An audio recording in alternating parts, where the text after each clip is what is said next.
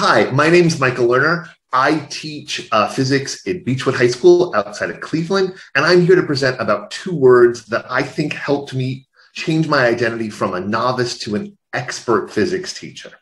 Now, these two words are not research based or best practice. These two words are just words that resonated with my own personal experience. I'm curious as to whether you find these useful. In fact, I really hope to get feedback as to whether these words sort of make sense of how you became a better physics teacher or if they don't seem to make any sense to you at all. And I'm really focusing here on the planning aspect of being a teacher. Like, how do we know what we're going to do, when, and why? When I first started teaching, it was all about the lesson plan. I was a first year teacher with no training at all. And I would spend hours trying to figure out how I would fill those 50 minutes in class. And it was a constant yawning hole of things that I had to fill. And in those first couple of years, I started realizing I needed to have units, that these lesson plans were building up to something. And graduate school was a great way to learn how to plan a unit. But it was only after I got out of graduate school and was in teaching in the trenches for a couple of years that I started realizing that part of my job was to collect moves. Now, to me, a move is something you don't always do in your lesson. If it's something you'd always do, it's, it's part of what you write down in your lesson plan. It's those things you do 99% of the time or 1% of the time. It's those reactive things that you do. And sometimes they're really general. Jeremy Secaur did a great presentation last year about the various Socratic dialogue moves you can have. And boy, do I use those all the time. There's also ones that are particularly specific to particular lesson plans. Let me give you an example. Here's a relatively boring lesson I do most years, not all years, where I give students this situation with a couple of books, some tape, and a table. And I ask them to draw interaction diagrams and force diagrams for different objects.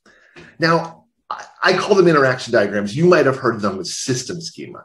And if you don't know what I'm talking about, pause the video like right now and go look up system schema. They very well may change your whole teaching idea. But the interaction diagrams that students normally draw for this situation would look something like this. It would be a fair number of normal and gravitational interactions. Some years, though, I have a move where I go whisper into somebody instead of doing the table, instead of doing the top book, will you draw a force diagram, interaction diagram for the piece, the roll of tape inside the tape dispenser? And you get an interaction diagram and a force diagram that looks like this. And this is fantastic for those years where you keep getting the question should I put the ice skates as part of the ice skater?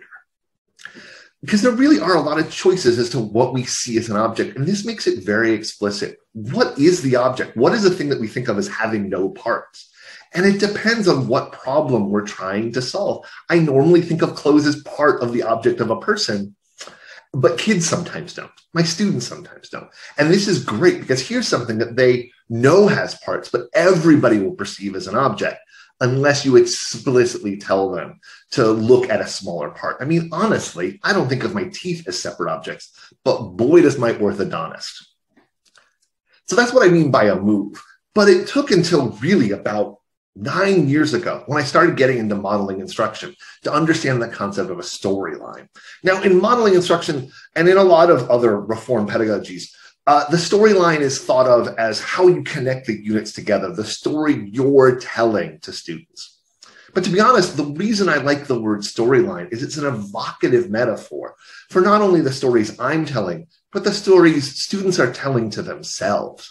And there's a lot of stories I want a student to talk to about themselves. There's a lot of them that you might choose. There's things like being able, that, that physics is a collaborative process, that physics is about solving problems, that there's more than one way to solve the problem, that uh, uh, algebra is important. And these are all great stories, but you don't necessarily every teacher tell wants all of their students to tell all the same stories. And picking and choosing what story is really important. And I realized this when I started worrying about the AP Physics 1 curriculum.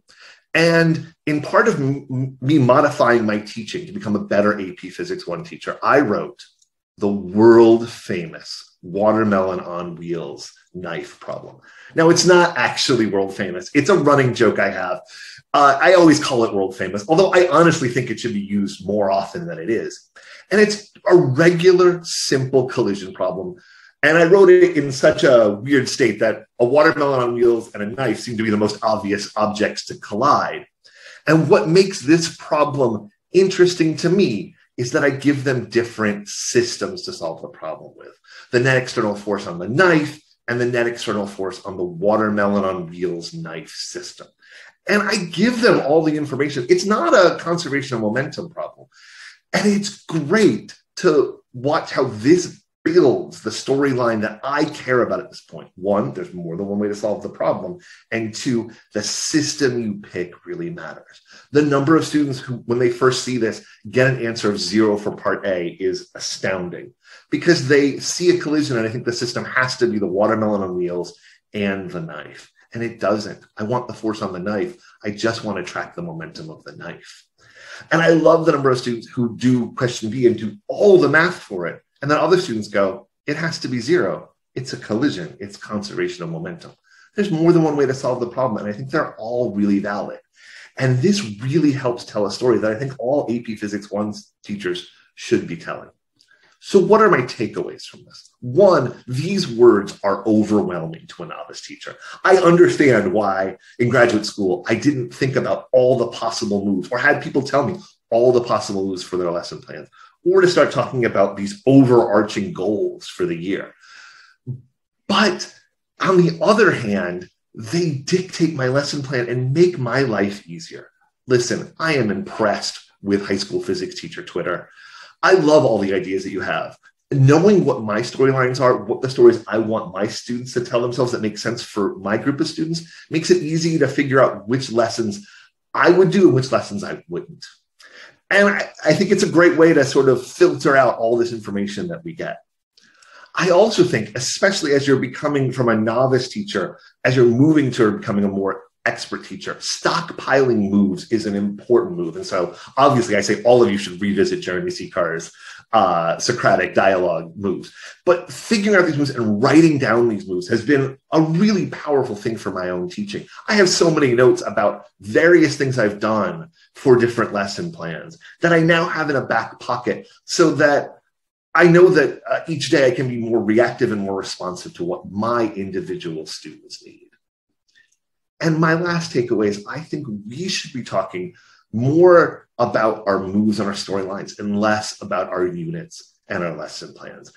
I've seen lots of great lesson plans on uh, Twitter, but they're not that useful to me. I'm really curious as to the individualized, idiosyncratic things that you have to do to help with your students that you don't do all the time. And I'm also really interested about what are the major goals and how do you get to those major goals, which often ends up happening in those tiny moves we do with our kids. I'm curious now, does this resonate? I really hope I get to talk to a lot of you high school physics teachers about whether these two words, as they did for me, help encapsulate how you went from being a novice teacher to an expert. Thank you.